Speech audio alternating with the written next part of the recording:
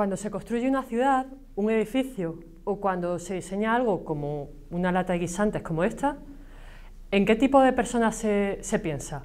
A menudo, y hasta hace poco, respondía a un único tipo de persona y olvidábamos la diversidad.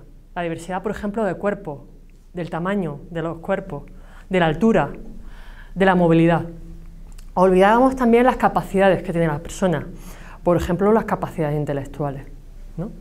A veces también olvidamos el género, si es mujer, si es hombre, otra cosa.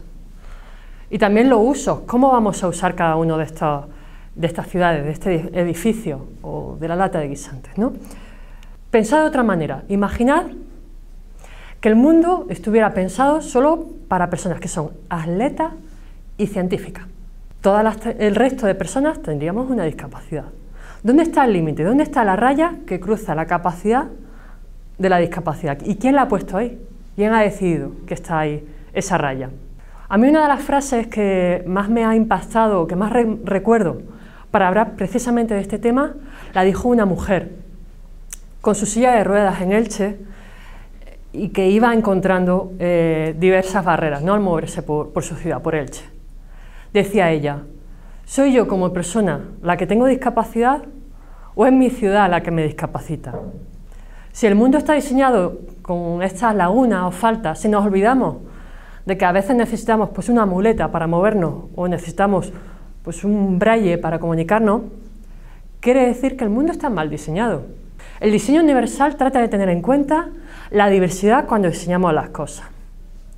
También se llama, aparte de diseño universal, diseño para todas las personas. Ya hemos hablado de esa parte de universal. Creo que es fundamental que nos concentremos en la primera palabra, diseño. ¿A qué nos referimos con ese diseño? Bueno, pues se trata de hacer las cosas bien desde el principio, desde que están en nuestra cabeza.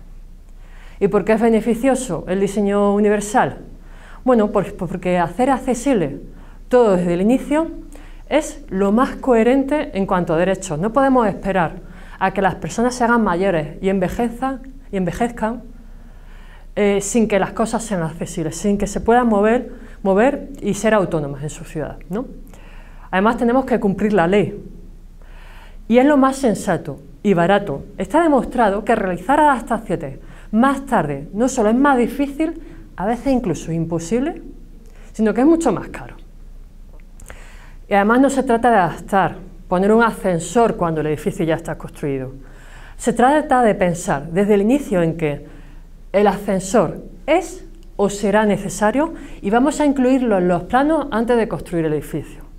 A ese ascensor le vamos a poner desde el principio información de las plantas por las que pasa, tanto con voz como información visual, para que pueda llegar esa información a personas sordas y también a personas que tienen discapacidad visual o son ciegas.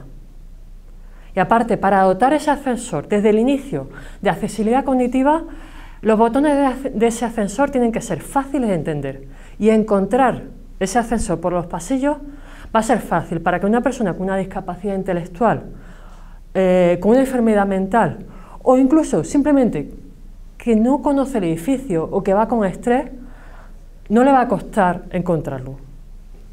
Y así estaríamos incorporando desde el inicio las tres accesibilidades que, que nos ha contado nuestro compañero Antonio. La accesibilidad física, la accesibilidad sensorial y la cognitiva.